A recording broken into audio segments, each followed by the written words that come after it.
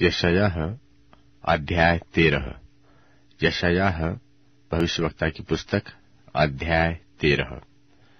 बाबुल के विषय की भारी भविष्यवाणी जिसको आमोस के पुत्र यशायाह ने दर्शन में पाया। तुम मुंडे पहाड़ पर एक झंडा खड़ा करो, हाथ से सैन करो और उनको ऊँचे स्वर से पुकारो कि वे सरदारों के फाटकों में प्रवेश करें। मैंने आप अपने पवित्र किए हुओं को आज्ञा दी है। मैंने अपने क्रोध के कारण अपने वीरों को, जो मेरे प्रताप के कारण प्रसन्न है, बुलाया है। पहाड़ों पर एक बड़ी भीड़ का सा कोलाहल हो रहा है। मानो एक बड़ी फौज की हलचल है। राज्य राज्य की इकट्ठी की हुई जातियाँ हलचल मचा रही है। सेनाओं का यहोवा युद्ध के लिए अपनी सेना इकट्ठी कर रहा है। वे दूर देश से तो क्या आकाश की छोर से आए हैं? हाँ यहोवा अपने क्रोध के हथियारों समेत सारे देश को नाश करने के लिए आया है। हाय हाय करो, क्योंकि यहोवा का दिन समीप है। वह सर्वशक्तिमान की ओर से मानव सत्यानाश करने के लिए आता है। इस कारण सबके हाथ ढीले पड़ेंगे और हरेक मनुष्य का हृदय दहल जाएगा और वे घबरा जाएँगे। उनको पीड़ा और शोक होगा। उनको जच्चा किसी पीड़ाएँ उठेंगी। वे चकित होकर एक दूसरे को ताकेंगे। उनके मुँह ज्वालामय होंगे। देखो, यहोवा का वह दिन रोष और क्रोध और निर्दयता के साथ आता है।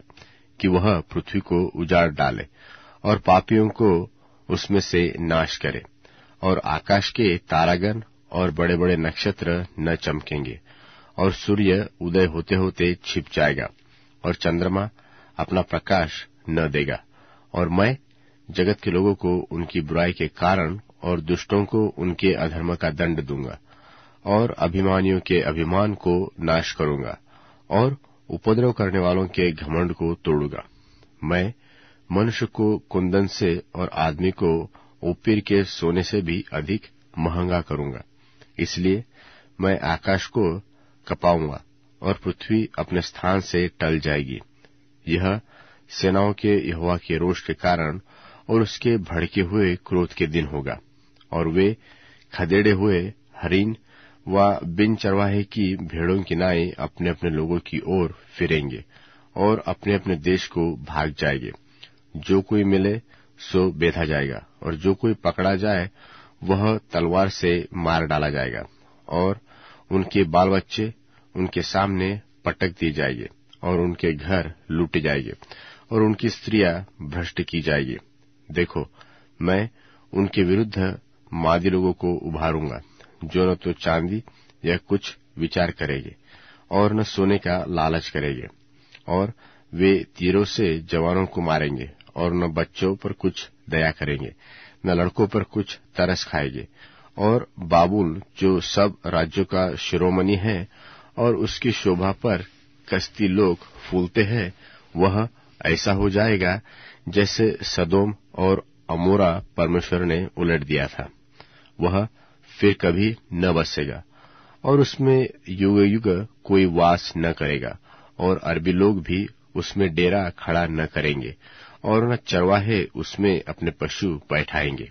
वहाँ जंगली जंतु बैठेंगे, और उल्लू उनके घरों में भरे रहेंगे, और शुतुरमुर्ग वहाँ बसेंगे, और छगल मानस वहाँ नाचेंगे, और उस नगर के राजभवनों में हुंडार और उस, उसके सुखविलास के मंदिरों में गिदड़ बोला करेंगे।